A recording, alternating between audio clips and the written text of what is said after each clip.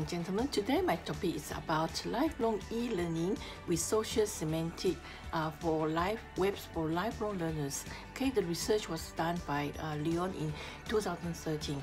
Okay, the abbreviation SSW4LL uh, stands for Social Semantic Web for Lifelong Learners.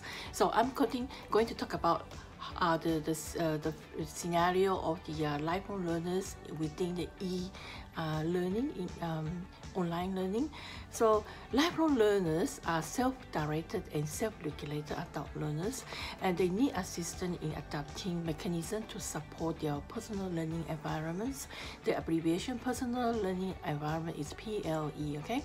So according to Leon, uh, today many technological systems provide adult lifelong learners the ease to control their own pace and give them a sense of ownership in the journey of learning. So for example, in educational students take up the, her study online through modules 2.0.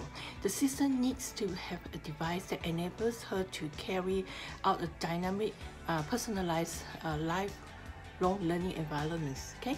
However, there are semantic web uh, media wikis in other languages, um, whereas SSW4LL is easy to use because it is in the worldwide accepted language, course, in English, right? Now, uh, the case study conducted by Leon suggests that there are uh, likes and dislikes of SSW4LL as a tool for lifelong learning assistance, uh, as in the case of all other types of online learning environment. All right. So overall, she studied the participants like the SSW4LL have positive comments such as uh, she said number one, the tools uh, comments such as number one, the tools are fascinating, and number two, the course is fascinating and full of resources. Number three, comments that uh, Leon got from the um, from his her observation was, I found that uh, first week of course fascinating because it uh, allowed me to learn a wide variety of uh, uh, world fascinating online learning for, for her, uh, for the students, the comments said, and which is very exciting for her and adventurous, which is what she means is by the uh, uh, online learning. Online learning, she said, one comment from her student, uh, research by Leon, is exciting and adventurous, okay?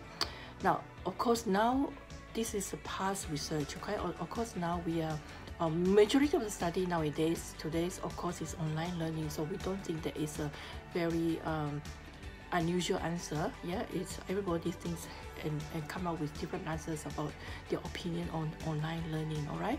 So a few participants studied by Leon have indirectly disliked the tool and with comments such as nowadays we have many many um, uh, comments about uh, dislikes about comments on online learning. So particularly she found out that her observers um, or her observers say that the comment are like say I have very little time at the moment and maybe I joined the course too late. You know and English is not my first language. They, these are the comments that she has found out while doing her research on the online learners. So Leon also classified lifelong learners of SSW4LL into types which is applied actually nowadays applied to all types of learning.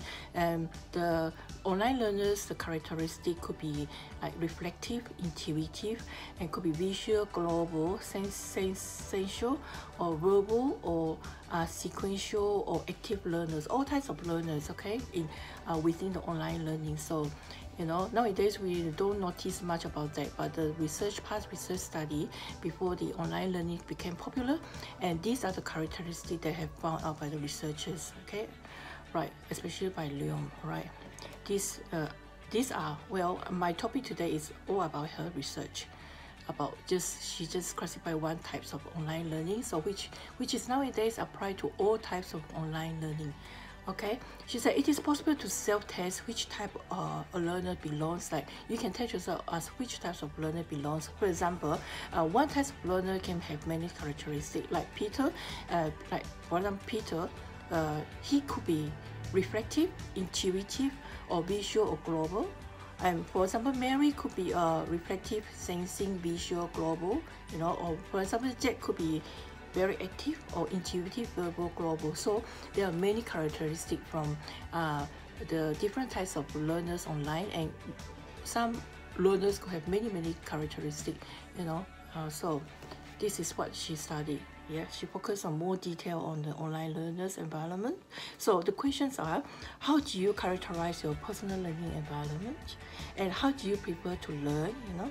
Uh, since adult lifelong learners need to get used to the online presentation, gadgets and devices, which may sometimes uh, cause demotivation on the participants because the learners online they need to find out how to go about with the uh, gadgets or devices on the computer and uh, what about uh, the encounter problems like technical problems and all that you know. Uh, some uh, some of the learners online learners are handicapped with the uh, uh, especially especially technology which I'm in I'm one of them.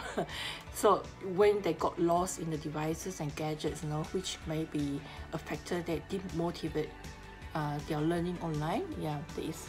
Okay just remember there are ups and downs in everything we do even in the technological world. So that is very sensible. So even in what we we do every day is going on in our life you know in the technological world we can always encounter problem as well. It's the same right makes sense.